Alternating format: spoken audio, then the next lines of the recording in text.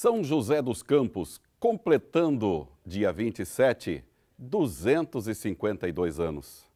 São José dos Campos me acolheu há 37 anos atrás. Eu só tenho que agradecer a todo o povo de São José, que faz dessa cidade uma das melhores cidades para se viver do nosso Brasil. Eu amo São José dos Campos e desejo que esta cidade seja cada vez mais próspera, que o emprego, que a saúde, que o bem-estar das pessoas possam cada vez mais estar sendo melhorado. São José, obrigado por tudo que você fez para tantas pessoas que vieram de outros estados, até de outros países, e você acolheu. São José dos Campos, que Deus continue abençoando. Parabéns, São José dos Campos, e que todos nós possamos nos alegrar com o seu aniversário.